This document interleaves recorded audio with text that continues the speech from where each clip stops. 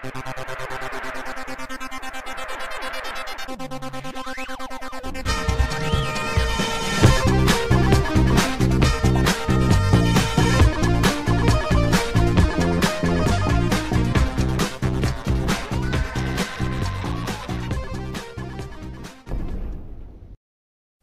guys, welcome back. This is Matt Chat episode 398 featuring an interview with Thomas Finholm, the artist and designer of Thy Sword.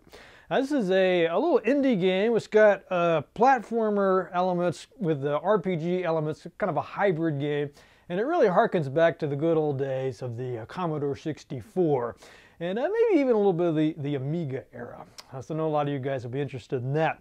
Uh, we also talked just about the indie scene, uh, why uh, Thomas likes uh, Steam so much. We talk about the Indiepocalypse and what it's like to make sprites. A lot of stuff in here about the the Commodore and the Amiga and all that good stuff. So anyway, a lot of great topics to cover here. So without further ado, here is Mr. Thomas Finholm.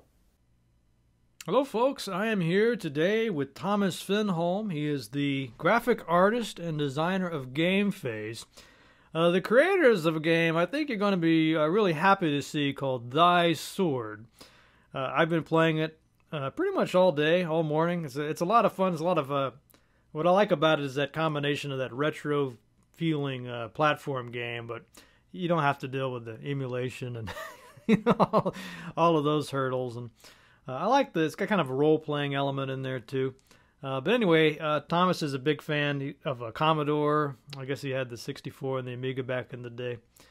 And this game to me seems kind of like a. Would you call it sort of a love letter to the to that era? I would, yes. We uh, sort of joked around in the beginning there three years ago that uh, we kind of named a lot of classic games, and we, we all thought, well, that game was really great, but it missed that part maybe some RPG elements. And that game was a good role playing game, but I'd like some more action. And, and we joked around, well, wouldn't be great if you could combine all those elements and still keep it kind of casual. So in the end, after three years, I think we did a decent effort at it anyway. Yeah, I think you totally nailed it this time. Uh, I, I noticed, I just noticed before we started that you'd done a, an earlier game uh, called Vindicator yeah, Vindicator Uprising, we re- released that on Steam in 2015. So that was our first first proper game as a studio. So I guess you learned from that uh, what to do, what not to do. What was that? How did you? Uh, what did you learn from that experience that you were able to apply to thy sword? Well, uh, the, the, the long-lasting lesson, the first one, I guess, would be uh, that we realized, well, you obviously don't do a platform game as your first game. and therein is a whole list of uh, not to dos. But uh, we why not we, do uh, a platform game? What's what's the problem? It, it, of course, depend on your uh, skill and background, but but the physics of jumping and all that stuff. So some say, okay, I recommend you do a kind of top D or a puzzle game, something that is easily with the mechanics and so forth. But uh, we had we had kind of a story to it, and we and we said, well, let's go for it and make it really kind of try to make something special out of it. And then, of course, after that one, so okay, let's what, what other genres can we do? Well, we got all these platform mechanics already, and and, of course the Conan, and uh, I guess we'll be diving into came came around our heads then. Mm-hmm. Yeah, I think a lot of people probably underestimate. They think, well, these games, platform games, have been around for a long time. We had those back on the Commodore 64 and the Nintendo. They must be really easy to make. Uh, totally oblivious to all the physics and like having to set up those platforms. And, and this one, uh, Thy Sword, I don't know about Vindicator, uh, but Thy Sword, uh, this is all procedurally uh, generated levels to it, right? So that uh, that would be. I'm just trying to think about how that would all be programmed. I mean, it must have been quite a quite a lot going on behind the scenes there to make that happen. Yeah, kind of like uh, we got a lot of inspiration from Spelunky and that area of, of indie games that hit big. So, uh, so it's procedurally generated, but kind of in the limit of one screen levels. So, so Michael, our programmer, he. He, he wrestled with a few a few renditions of the of the level generated there I think I think it was on the third third version that we were pleased with the results because you have to of course, calculate distance, and you have to get through all the platforms without making too long a gap to jump. And, uh, and also, you want to make it look kind of organic, not just a few levels and ladders in between. So it took a while to nail that. Yeah, if you didn't, if I didn't know that it was procedurally generated, I, I would, uh, I would have just thought the levels were hand designed because it, it, feels like that. You'll see the little, like, oh, I can see what he was thinking there. Make that just long enough to kind of, you know, jump over there, and then now you got to kind of bounce up and hit this. I mean, it feels very much like a, like somebody sat down and hand coded each one of those levels. So that, uh, that's really impressive. When I first heard procedurally generated, I was like, oh man, this is going to be, you know, chaotic, and there'll be levels that you can't get past because you know it's impossible and, and all that. I guess in the playtesting and the uh, that must have been the uh, the real crunch to get this game out, right? Yeah, it was. It's a challenging but but fun process, and of course you get a little best of both worlds. It's it's within a little smaller scope, so you have one screen to work with. But then when you play, uh, uh, you never play exactly the same level twice, so that gives you kind of a replay value, I think. yeah, I found that out. I died. It's like, well, I had it on the easy level. It's been a while since I played these games, so like I don't want, I don't need the super hard mode or whatever. Uh, and then I thought, well, I think I kind of got this level figured out though, so you know, when I go back, it'll be, whoop, oh crap, no, it's all changed. So uh, I like that. You really do kind of have to figure out the level a little bit real quickly. And I'll tell you something else I loved about it was the, the little crow or bird that comes, or bat, I guess, with the key that comes out. You know, first couple times I saw that, he's just zooming. He's out of there before I even, you know, can figure out the level.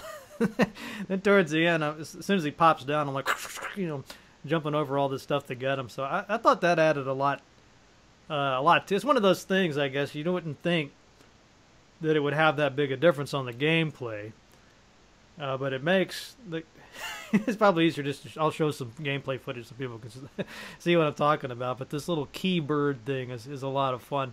Uh, whose idea was that? Yeah, I, I, think we, we had some some brainstorming sessions to try to come up with some uh, kind of puzzles for the levels. Uh, hacking and slashing is, is fun, but you want some to throw the player around a bit and and make him pay attention to the whole screen. So so we we had a, kind of a hard time at first, but then we kind of worked out. Okay, what we got to work with here. Okay, there's loot, so we make a little mini puzzle how to get the loot, and we I, I enjoy watching Twitch and Twitch and YouTube players uh, put up long curse word lists over that word. so that paid off just that one. Yeah, it's great because somebody like me, I'm kind of a methodical player for games like this. I want to just sit and stare at it for a while and make a plan and, and then jump into it. But then you got you realize if you do that, you're going to miss the opportunity to get this key because it's only going to you know be on the screen for so long. So you just have to say screw it, you know, I'm going in. I'm gonna. right, and it forces you into that sort of quicker response. So that that was really nice. Uh, so I understand, Thomas, you took uh, three years uh, to make this game. I mean, that, that's uh, that's a pretty substantial time. What was uh, what took the longest, or what was the hardest uh, part of making the game? Yeah, I'd say I'd say that the three years. That's not a that's not really full time because we we had jobs on the side we've eased up a bit on that now, but especially in, in the beginning, we all had full time jobs, so it was evenings and weekends, and then we kind of made more and more crunches and more often. So uh, really, really nailing because, of course, you get had the great, greatest game idea in the world, and you refine that, but we really started with just our love for a setting and the old sword and sorcery fantasy world so we almost had the setting before the idea. And then we just made a, I think it was one weekend in the winter three years ago. Mikael and I were sitting at my place and we, we said, okay, we, we have to make this prototype now because we're we're always talking about it. So we made the little spinning thing with the, and we said, okay, that's a game right there, just with that. yeah, I was. I'm one of my duties here at St. Cloud State. I'm the faculty advisor for the Video Game Design Club. And so all these young people come in, and every every one of them they have this this uh, big idea for a game, right? And they're you know they're they're so guarded about it. Like, well, I can't tell you about my idea. And I'm always saying, look, the problem is not with the ideas. You know, everybody's got the ideas. What the, the, the problem is doing like you, you know, sitting down, making that prototype, getting that out, refining it, polishing it, play testing it. You know, it's a you you know it's it's so much work, right? To get the uh, from this this the idea phase, which is basically easy, uh, to that. Here's the game. It's on Steam. Uh, check it out. Yeah, it's the it's the last five percent that are the ninety five percent as you discover when you're closing in the final crunch there. Uh, I, I, would say midway midway we had some problems. Maybe after a, a year and a half or so, we kind of uh, and of course you get a little home blind if you know what I mean. You after a while you have to kind of step back and zoom out and okay, what are, what are we doing here? So it was actually I think the last year when we started to actually take away stuff and then the screen resolution changed up from here to there and then it actually got smaller and that helped the game. And we removed the whole leveling up system that we had in place. So that's and, uh, that must have been kind of bittersweet i guess taking out stuff that you'd worked on. It was yeah. It, it was a lesson learned along the way i suppose. Uh, it, it, it was really couple of important milestones when we actually said that okay, this is the core loop of the game that makes it fun, and this part here maybe not so important. So if we strip mm-hmm. that, then it pushes kind of forward the the core mechanics. Yeah, I remember when I think it was Brian Fargo. I want to say it was him of Inter- Interplay, and he said I was talking to him about what it's like being a producer, and he says that one of his big roles or his most important roles being able to go into a room and say you're done. not like you're fired, but you know, we're not going to put in these new features that you're excited about. We we just need to get the game. You know, it's good enough. we need to ship this. Uh, I notice a lot of uh, a lot of guys uh, that keep on. What's it called? Feature creep. You, just keep adding and, and adding, and and you don't give yourself enough. T- I guess it's better not to have so many features and have them be really well tested and polished and, and smooth, right? Than uh, just to keep adding and adding and then end up with a mess. Right, because you you get into that creative state and you it's it's really easy to keep adding stuff because you think, well, I'm having all great ideas here, and uh, yeah. Let's get into some of these these topics that you uh, you suggested here. Uh, you mentioned this already. There was some issues with the resolution. Uh, what, what, what do you mean there? Was it too high? Well, uh, it, it kind of ties heavily into the graphical style because I, I started pixeling on the Commodore 64 and so I never got really into you know 3D rendering or any of that stuff. So I've always been kind of a low res preference guy.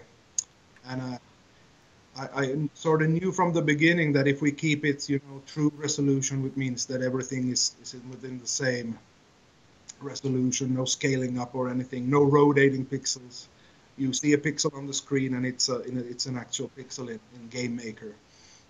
So uh, I think that gives it the, the sort of consistent look. It, it helps out with the graphics because everything is, is kind of have to be confined. It's not like hardware constrictions where everything is like 8 by 8, but it gives it a little bit of that. Mm-hmm. It seems to be a pretty popular style these days. You know, I see a lot of games with that uh, with that look. Uh, I think we're well past the point. I used to worry about these games, like, well, nobody's going to pay much attention to them. They'll look, they'll say, oh, it looks too old-fashioned. You know, I just want to go back to my Call of Duty or whatever. Uh, but it seems like there's a building community of gamers that actually prefer this style. Yeah, I think it's it's several things. I'd say, uh, of course, you can take any art style or game graphic style and, and, and find something that you like, but uh, I always compare it to kind of the basic set of Legos or something. It, it mm-hmm. gives a, especially in that size that we have in Thy Sword, the, the, characters are so small, but then when you animate them, it kind of you have to kind of symbolically represent very much on the screen with few pixels, and uh, and if you do a decent job, I, I think people will uh, decipher that in a meaningful way. And I and I always mention the the fill in the gaps method, mm-hmm. kind of a compare it to when you read a book. You're, you're, sitting there imagining all the stuff, and, and graphics are never as good as when you imagine your you know fantasy book or literature or what have you. So I think that also plays a part. That what you don't see, you maybe have to imagine, and, and your brain kind of helps along. Yeah, that's one thing I've definitely noticed uh, doing all this work on uh, game history. If you could look at these early games from the 80s, if you just have a screenshots, I mean, they could just look like crap. You're like, what is that? it looks like it's just a bunch of blocks. Uh, but when they start to move, if you're actually playing it, it just kind of all works, right? And you, your imagination kicks in and fills in the blanks, and you can. It actually feels a lot more realistic uh, than it looks. Whereas with the modern games, yeah, you could have beautiful screenshots, everything looks realistic, but it's almost like the opposite, right? Somehow it doesn't. You don't feel that same sort of, you know, the imagination doesn't kick in the same way. It's more like you're just looking. You're kind of looking at the graphics rather than it's like you're there with your imagination filling. The, I don't know what I'm trying to say here, but you seem to. maybe you could articulate this better than I can. I, I think we were were on some so on the same discussion at, at, some point on Facebook with the uncanny valley. I think we hmm. commented on that. Uh, yeah, I, I, some someone needs to research this, but I think it's the there, there's some signal in somewhere. Uh, of course, your preference and all that, but uh, I think I think sometimes it signals to your brain, okay, this doesn't require you to to activate those areas and imagine and so on. This is already thought out, and mm-hmm. and some things uh, maybe spark that a bit more. And of course, text and lore in a game also does that. Mm-hmm. Yeah, I've seen the same thing in theater. Like when they teach theater classes, some of these productions, they won't have any props, or it'll just be some couple guys and gals just kind of standing up there and they're pretending to hold a sword, let's say and sometimes you can really get into that more than you can the more elaborate production. It's just really weird how that works. you definitely yeah, need, definitely need to do some heavy studies on this. I w- I've always thought that uh, if you do it that way, well, there are no gaps or no badly drawn graphics if you do it all in your. well, that's one of the things I wanted to get into because uh, I. Uh, I know somebody who I have sat down and tried to make some of my own sprites uh, for Game Maker. You know, sort of play it around. I quickly realized this is not easy. You know, you think, oh, it's just some pixels. Anybody can do that. No way. you know, trying to get those pixels to look like something is a real challenge.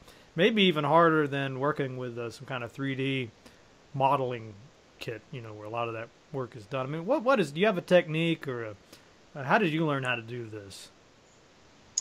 Well, I had I had two primitive uh, or for that time maybe advanced, but I had two pixels programs on the C64, and, and one was called Koala Paint. Oh, I remember that. And I never remember what the other one. I, I might find it online someday. I never remember the other one. That was a little bit uh, more sprite friendly, I guess. Of course, you you you didn't have a mouse for the 64, so you actually drew with the joystick and put the pixels there. so that was a, a slow. You're not still using that joystick, are you? Uh, no. uh, of course, uh, on the Amiga, when you get the deluxe paint and the mouse, then it a whole other world oh, opens sure. and all yeah. those colors. But uh, I have to mention the the shoot 'em up construction kit by oh, Sensible. Sure. That when you really look back at it for, for the Commodore 64, it was a really epic achievement in my my mind because to get a, a game running with just you could mod the sprite, of course, and then you could uh, draw your own. So you, it was really a crash course in game making. Okay, you have three or four four colors, and okay, I need to show how the enemy waves would come down. Of course, they were only shoot 'em ups, yeah, but uh, that did a lot for me. That gave me kind of a window into okay, you can make your own games. I'm sitting here with a, well, my parents called it a toy, obviously. Oh, who's laughing now that you're a millionaire? yeah, that, I remember that uh, the the shoot 'em up construction kits. There's a lot of games, uh, pretty fun games that I played just by people using that tool. Uh, I think there was one about Smurfs, like Smurf Hunt. You ever? yeah, that was Ninja one. Turtles one. I guess these are probably unauthorized uh, things, but you know that's what the kids would want to make, right? Uh, yeah, and I still think today quite a powerful tool to get into the kids' hands. Uh, I had, I had, I was fortunate. I had an older friend that always already was deep into it, so he kind of showed me the first steps, and I, I took it from there on my own later. But and I was amazed to find online that there are still communities and, and competitions even in, in SEUCK games. it's kind of a one of the themes. I think it was uh, I got a documentary from bedrooms to billions. I think is the name of that. And one of the themes I kept hearing was, uh, you know, back in the back in the day, uh, the kids like you uh, could pick up the shoot 'em up construction kit and you know like make games, and that was cool. Uh, but it seems like as time went on, it got as it got more and more console based. You know, the kids are playing the games, but they're not ever they don't ever have that moment of hey, you know, I could do this. I could uh, make a Ninja Turtle game. uh, I mean, do you think that's uh, do you think that's kind of coming back around now that we do have all this sort of indie scene and game maker tools and I mean, do you ever come across really young people uh, making games that are up on Steam? Yeah, well, with Game Maker and, and, Unity, of course, it's it's accessible again. I think the the big wave a few years back, but uh, yeah, it's getting down in, in, in the ages again. I think, and and schools also, at least here in, in Finland, it's been for a couple of years now a, a big thing to incorporate some of the, not necessarily programming, but the the thought process behind programming. So the, that's in the math curriculum nowadays. So it, a, a, lot of factors play into that, of course. And it's uh, for somebody young in age, just the creative side of okay, here here we have some flash games, and you can mod the sprites. If you're into the art side, then that's your entry. And and uh, and I I discovered really early on that that programming wasn't really gonna happen for me. I, I tried the Amos a bit for the Amiga later on. But I had friends, I had friends that made more progress in an hour than I made in uh, six months. So I okay, I'll stick to art because I'm already started in that. Yeah, I remember that Amos. that's pretty. You know, I saw some pretty impressive stuff. Uh, yeah, but that's a great example. So you just get in there, you're tweaking the art, and that inspires you to go to go on and make something great, right? Uh, I want to get in a little bit here. I know we got some other topics, but I'm kind of intrigued by this, by you know the the Finland uh, aspect of this, and you know how that that that scene is different than what uh, we might have here in, in the U.S. You know, is, is there sort of a distinctive character to that indie scene there in Finland?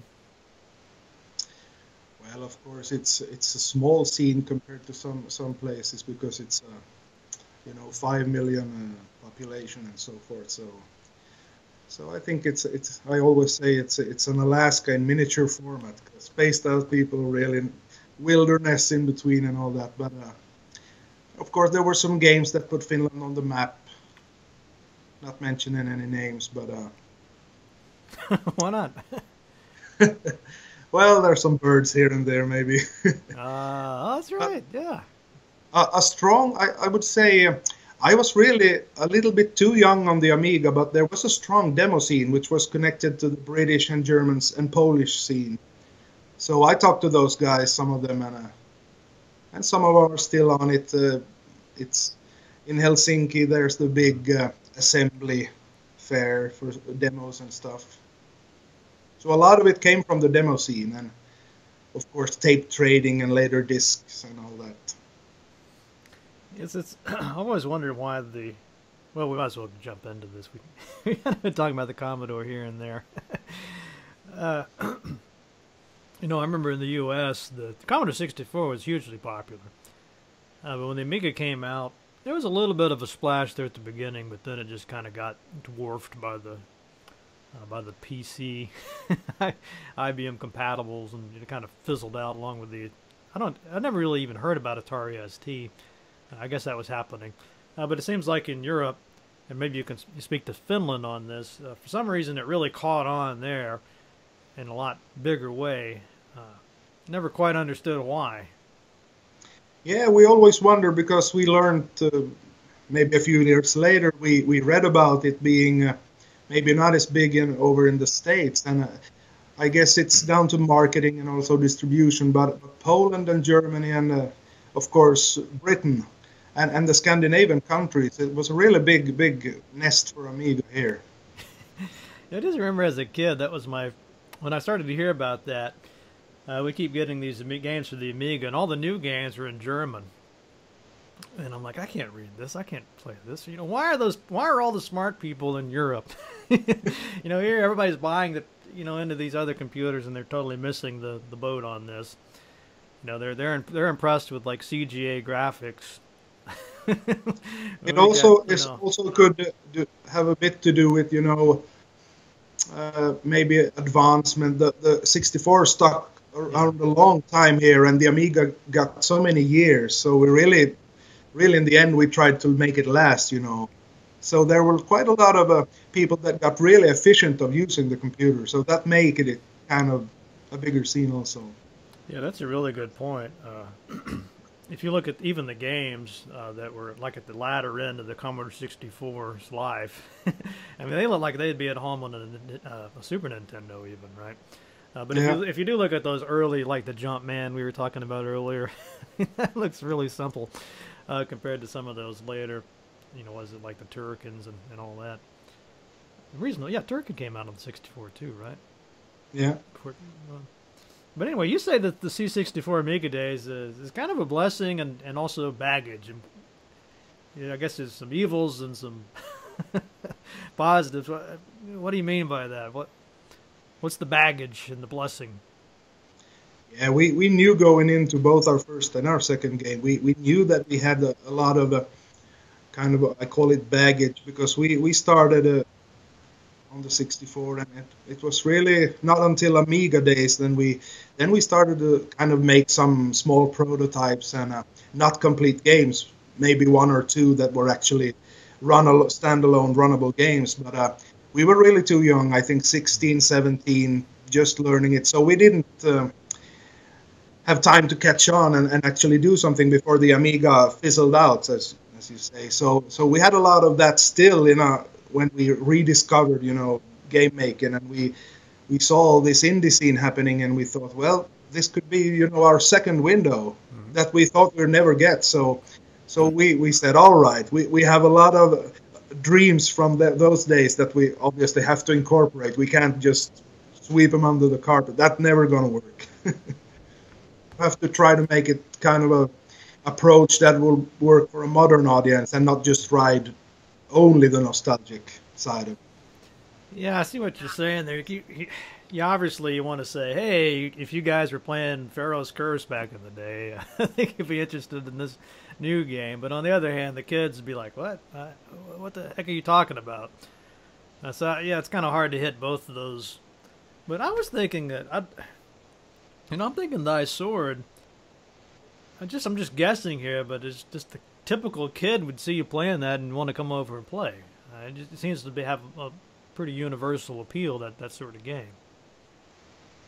Yeah, that that was one of our goals to try and make it appealing for all ages, and, and I think we succeeded because uh, in, in some uh, local uh, kind of uh, games events and, and and that stuff, we've been in some some events abroad also. So we get uh, everything from you know five, six, ages five to six that are there with their uh, parent or or old geezers like us, and they sit down and and it's a bit of a a few steps and then you're into it. So then we make okay, the loop works. They're they're hooked, yeah. and then of course they get to the village and gamble away their loot. So. oh yeah, man! What is up with that blackjack? What what do you call it? The, the horseman game, the four horsemen or something? Man, I lost every time I played that thing. Is it rigged? Come on. The house almost always wins, uh, friend. I think I think Michael found some old uh, some old histories about an, an early version that became 21, and it it yeah, was kind of like this. Yeah, I guess it was some European thing that it was called in a in a stage in time there. So of course, we put it before the shop, so then you can explore the gambling oh, side. you evil guy! Yeah, yeah. I went over. They had like maybe twenty coins or something. Uh, got past the gambling. Like, well, I'm not gonna play, waste my money on gambling. And get to the end, and then oh, I could have a longbow or a sword, and that's a couple hundred. You know, I'll just run back to that gambler, and you know, like this, I'll be re- reeling in the money, man it was a little. I've been to a casino like twice, and every time it was exactly that experience. Here's my money, gone. maybe there's a lesson in this game for kids, right? Don't don't gamble.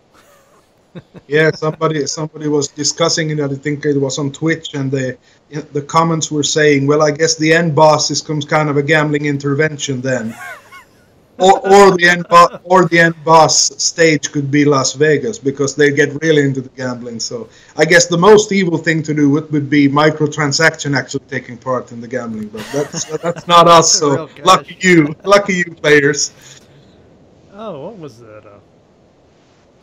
Yeah, there's so many uh, really cool items uh, that you can buy off at that last guy. So you put him last, just hoping that people would waste their money gambling before they get. The that's pretty. That's pretty cunning. Now let's. Oh, uh, one thing I was thinking about with this, I didn't really get to the co-op. I didn't have anybody to play it with, unfortunately, when I was playing it out. But I was thinking this game would be really uh, talking about crossing those generations. I, mean, I could really imagine a dad playing this with his kid, or a mom with you know with her kid. And have you come across people doing that? Yeah, we, we got uh, some, especially in the, the late beta testing, we had some some really helpful friends that uh, that did the, the co-op testing. So actually, uh, an old older friend of ours that we met online. So he played it with his kids. I think they were uh, maybe 15 and then eight, his sons. So they they'll, they'll be playing it along quite a, a while, I think. It'd, it'd be fun watching them play. I'm sure they have a lot of fun. And uh, at one at one local event we had, I think it was a mother and her uh, and her daughter. She couldn't have been more than maybe seven or eight, and uh, and at some point the the daughter did the head chopping thing, and they both died laughing. You know. now let's get into the story of thy sword. I like the poetry, and the the bosses are really creative. I thought I'm really satisfied after I killed that uh, Dragon Lord.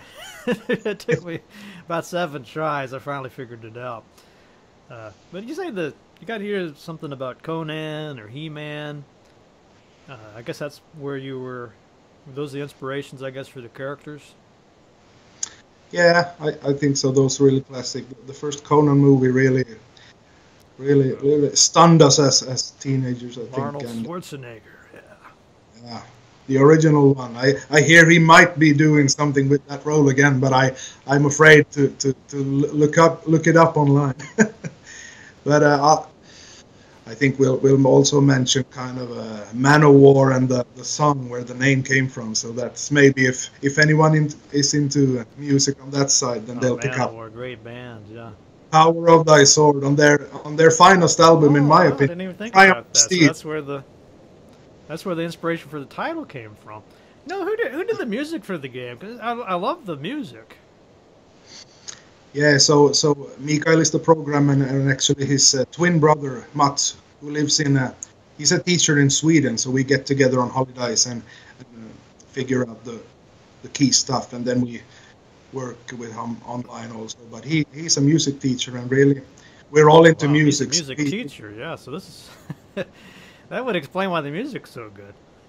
and we all had uh, metal bands growing up. I still do music on the side, so so he did the orchestral title track, and, and then we figured, well, Mikael and Mats had, had all the old hardware still, and, and Mikael collects a lot of old hardware and keeps it in good shape. So he actually busted out the old 64 with a SID chip, and he made some kind of display for it to easily, without a special monitor. So he made a little display to, and he uses something called the SID Wizard if you're into SID chip, I suggest you check it out.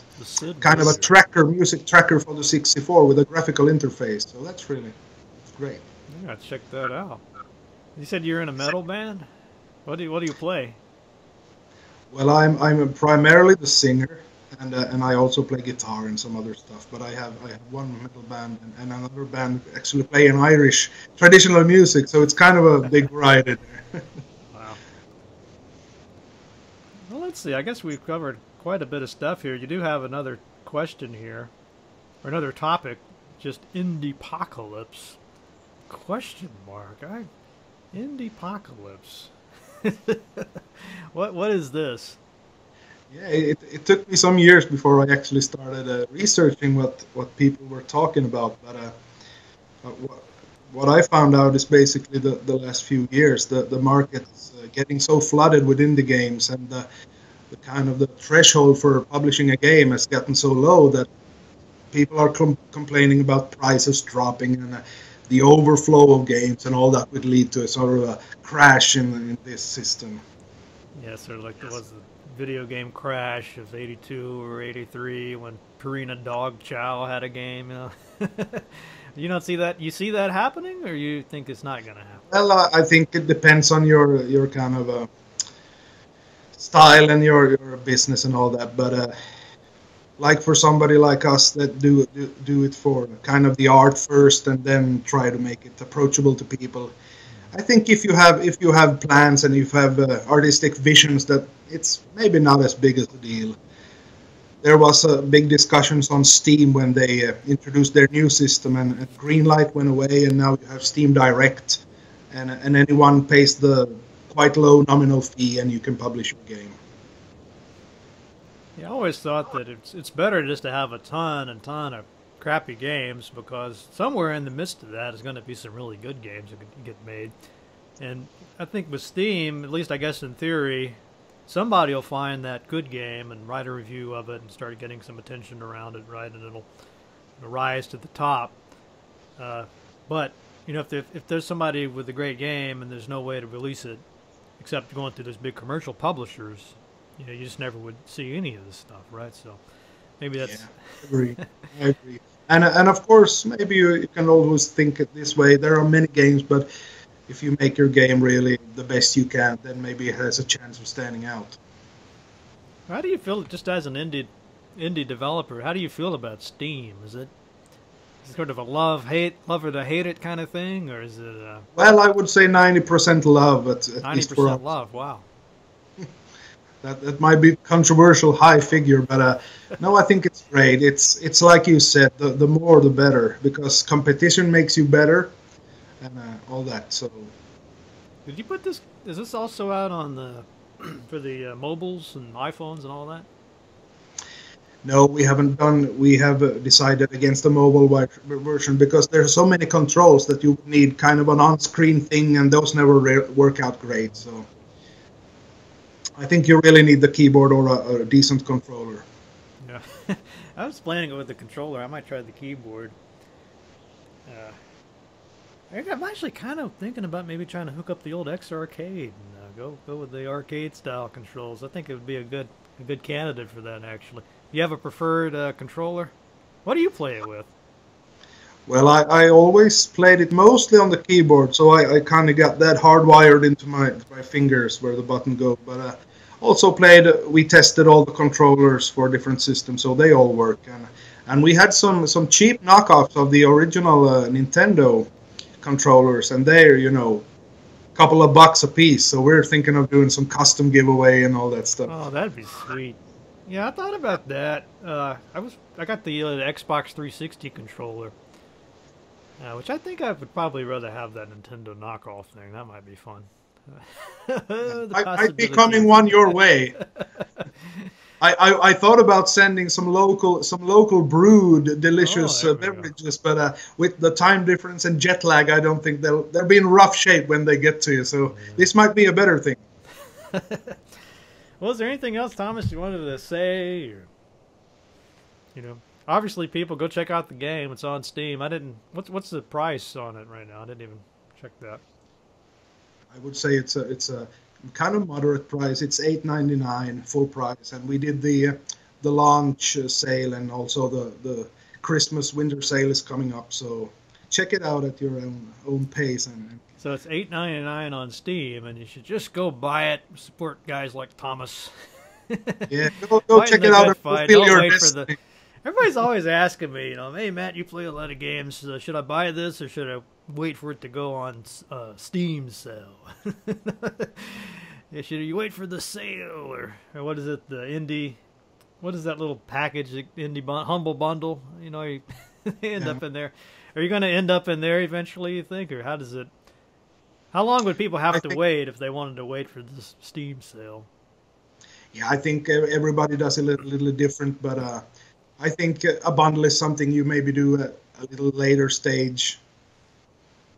I think, folks, it's worth the eight ninety nine. So go to Steam, buy it, enjoy, I play it on a variety of controllers. play, it, play it with your kid if you got one. uh, We're even thinking about doing, you know, kind of a also tribute to the olden golden days, uh, kind of a boxed edition with a kind of a physical copy and it. maybe even kind of a maybe a printed map or a manual of some sort. Oh, that'd be that'd be cool. You could put it out on tape. Man, I wonder if anybody, I wonder how many people watching this would have a way, still have their old uh, cassette, was the uh, the cassette recorder thing for their Commodore 64 where they can play the, the game off the tape. there's yeah. can't be, there's probably a billion of the guys who watch this show would have that, but. Uh, and people have been asking us if we would uh, be interested in porting it to the C64 and Amiga and, and do a version for those. But uh, Think that might be later in the pipeline. That would be really awesome. You know. Yeah, you could use. Well, I don't know if you could use a shoot 'em up construction kit to do that, but uh, I'm sure people must have uh, developed some pretty cool C64 tools by now, right? For making. You said you were using Game Maker for this. Yeah, it's the, it's the Game Maker, the first edition. I wonder if there's a plug-in or something for that that would let you put it out on a C64. There's not a direct plug-in, I think, but uh, there are some guys around that would probably do a really good job. And uh, the graphics actually, of course, nowadays you don't have the strict limits with color count and so on. But uh, I always think uh, in my back of my mind, I think, uh, okay, I could reproduce this with you know 32 colors on the Amiga, say, if I stretch it a bit. I really, I, I, remember sitting and thinking, well, do I really need to add this color or do I use the ones in the palette? because in the Amiga days, of course, you had the 30 color palette and maybe 16 for entire games. Yeah, somehow they still made beautiful games. It's, it's amazing. Well, anyway, Thomas, been good chatting with you. I hope your game does well. I'm going to post uh, the links to this, uh, Thy Sword. Uh, maybe check out Vindicator too, uh, their earlier game. Uh, these are are they anywhere other than Steam? It's uh, it's Steam exclusive. Steam exclusive. So I know somebody's going to ask this if I don't ask you. So are you, you going to put it on GOG? we might we might do some talks with GOG. I think that would Thy Sword would fit right up there. Yeah. I think it would. they have Super Meat? Any place that has Super Meat Boy should have Thy Sword. There are some people I think that uh, prefer some stores over the other, so that's always a good thing to be on several. Yeah, for, I got a lot of good old games uh, fans that watch the show in there. I gotta I'll mention. Wait, your, I'll wait for it to be on GOG. I gotta gotta mention on your channel there. Uh, I was so uh, excited when the Heroes of Might and Magic came up because I played that quite a bit when I got into PC gaming. And of course, I'm still trying to beat NetHack uh, all those years in, so keep trying. Yeah. Oh, what a great game. All right, well, anyway, uh, thanks again, Thomas, and I'll see you next game, I guess. When, when's it, when is that when is that going to be? well, it may not make it to Christmas, but we'll get catch right up there. All right, well, keep in touch. I salute you, Matt, and your viewers and your channel. It's been great.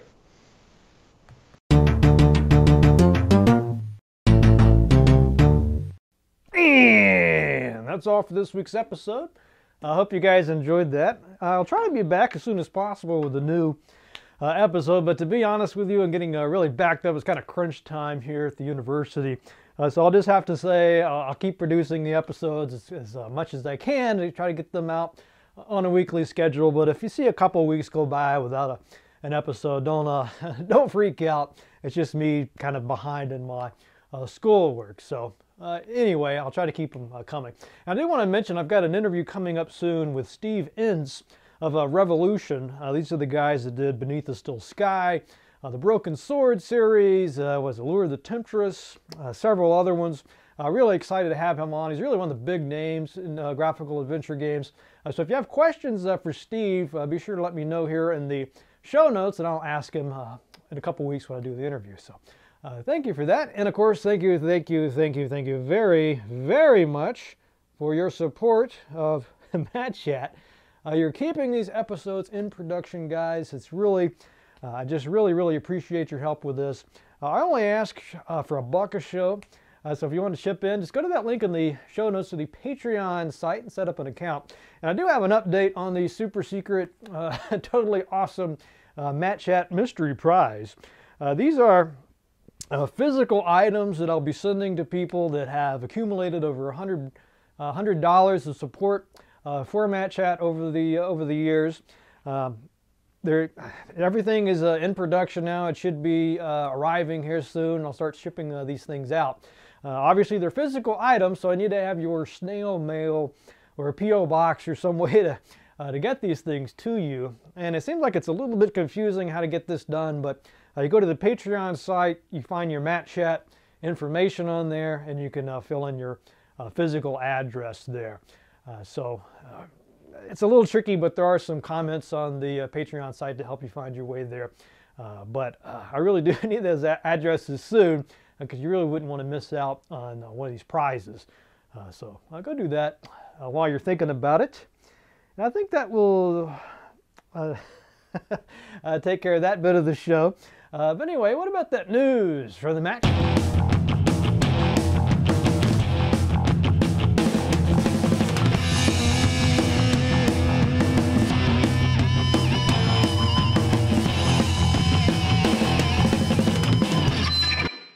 All right, quite a bit of news today. Uh, we got Chuck Somerville. Uh, just a guest just had him on. Uh, he wrote in about this himself. This is a auction, eBay auction for an Atari Lynx. It's got two games, Chips Challenge, and uh, I believe uh, the other one is Summer Games. I didn't write that down, or California Games, I think. Uh, anyway, it's he's going to sign these, autograph the system and the cartridges. And the cool part about this is he's not just doing this for his own uh, enrichment. Uh, instead, he, a young single mother starting a new family, uh, gave it to him, I guess, just to be nice. I didn't even know the thing was worth anything. Uh, but he's turned around and he's going to sell this uh, on eBay and basically and give her the money uh, for her family. so it's up to $550 already. It's got four days left to go. Uh, so go check that out. I think it'd be really, really cool to have a, an Atari Lynx and those two games all signed by uh, Chuck himself. I mean, that'd be a really great, unique, uh, collectible. And plus, it's for a good cause. So uh, thank you, Chuck, for sending that in. Uh, and then Shane wrote in about this. This is uh, Fallen Gods by Wormwood Studios. This is in production now. It's a RPG inspired by the board game Barbarian Prince. the computer game uh, King of Dragon Pass, the sagas, Eddas, and folklore of the far north.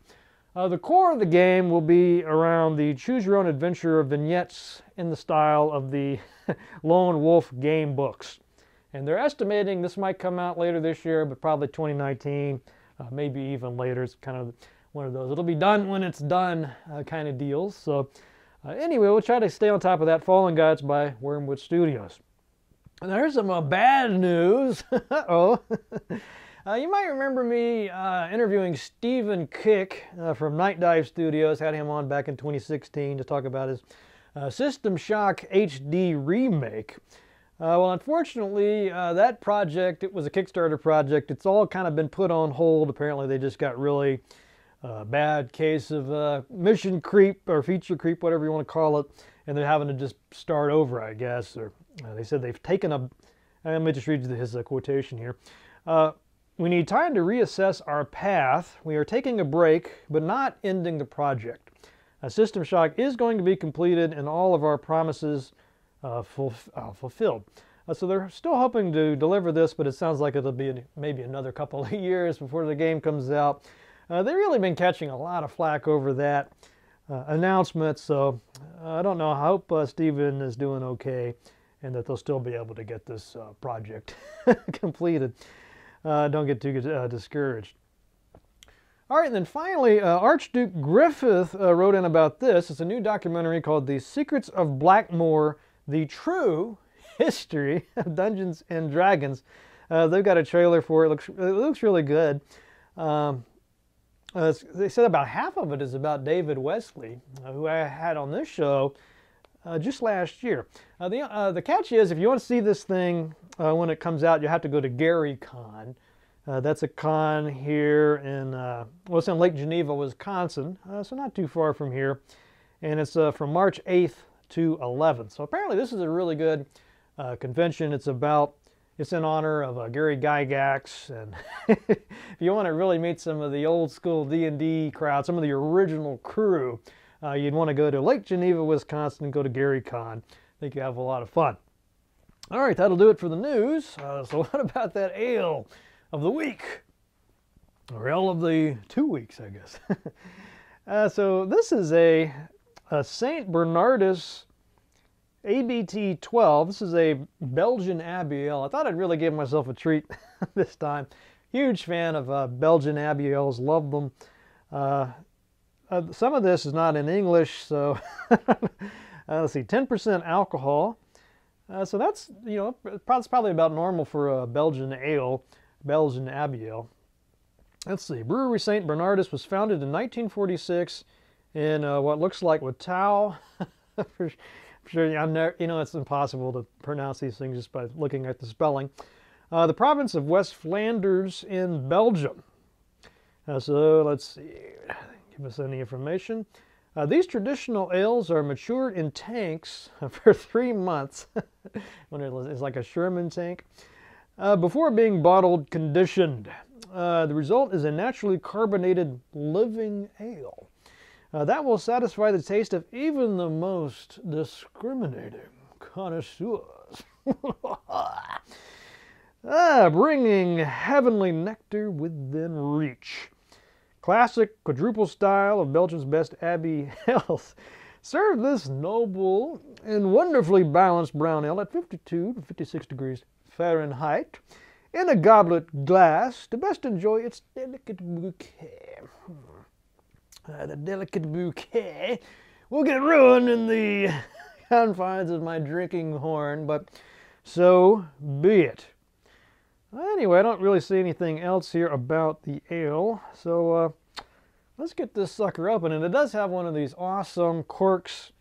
I love the beers with the corks because it gives me a chance to practice my marksmanship. All right, can he do it this time? I don't even know why I do this because I might even damage this camera and then there would be no more Matt Chat. There we go. I have to shoot it with my phone. That wouldn't be too too good, with it? All right, here we go. Come on, you know they should put sights on these things. All right, here we go. It's um almost out. There, it's, it's coming now. oh, there, there we go. Ready? Oh!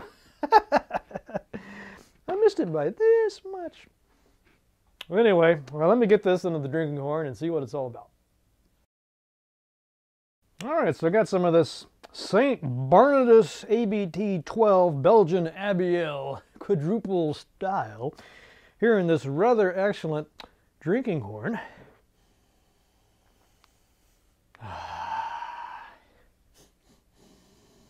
And I wish you guys could smell this. It's just, ah, it's just such a wonderful aroma. It's very citrusy, almost like a, and like some orange zest. Uh, just a really, really good smell in this. No alcohol fumes and nothing unpleasant like that. Uh, just a real uh, nice citrusy, uh, citrusy aroma. Uh, so let's go ahead and give this a taste. You do have to be careful with these because the head, uh, they can foam up really bad. You have to be really slow when you pour them and you don't want to shake it up too much like, like I'm doing right now. Anyway, let's give this a taste.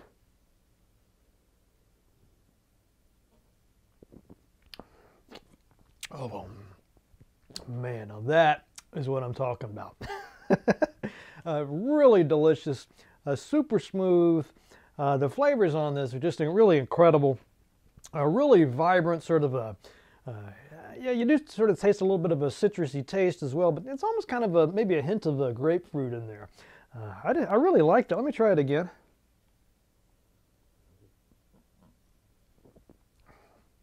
Yeah, just a really uh, a nice taste on this, good finish a little bit of a, what is that flavor? Now, there's always uh, some little flavor to these things that just evades me. Uh, I'm not quite sure what else is going on there. I'll try it one more time, see if I can pinpoint that.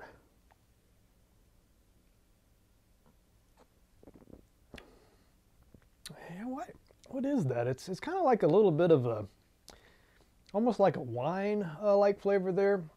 And there's definitely some kind of grapefruit, grape-like uh, aftertaste with this.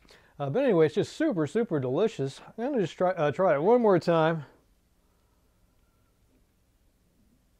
Mm. Yeah, it's just really, really good stuff. Nice, thick, uh, what was it, 10% alcohol? I don't even taste alcohol in that. Uh, just taste, uh, you know, kind of like a really nice sort of fizzy, uh, citrusy, uh, grapefruity kind of a drink. Uh, I'm going to go definitely go full five out of five drinking horns on this. Uh, St. Bernardus, uh, ABT 12. I, you know, I kind of had my suspicions that this would this would be really really good. It's kind of hard to go wrong with a uh, a Belgian ale from uh, Belgium. That's kind of the the standard that uh, a lot of other breweries try to uh, live up to. but anyway, five out of five. If you see this in the store, especially if it's on sale or something, you definitely want to pick it up. I know you will like it and not be disappointed. All right, so let's wrap it up with a quote. And I found a quotation that I just think really fits the bill uh, for the subject of this episode. And it's uh, by Ch Gilbert K. Chesterton. That name's familiar. I think he's, is he the guy that did uh, Father Brown? You know, I didn't look that up. I'm just now uh, looking at the name. That's pretty cool. I really like that show too. I think Father Brown would probably approve of the uh, St. Bernardus uh, ale back there. Uh, anyway, the quote goes something like this Art consists of limitation. The most beautiful part of every picture is the frame. So ponder on that and see you guys next time.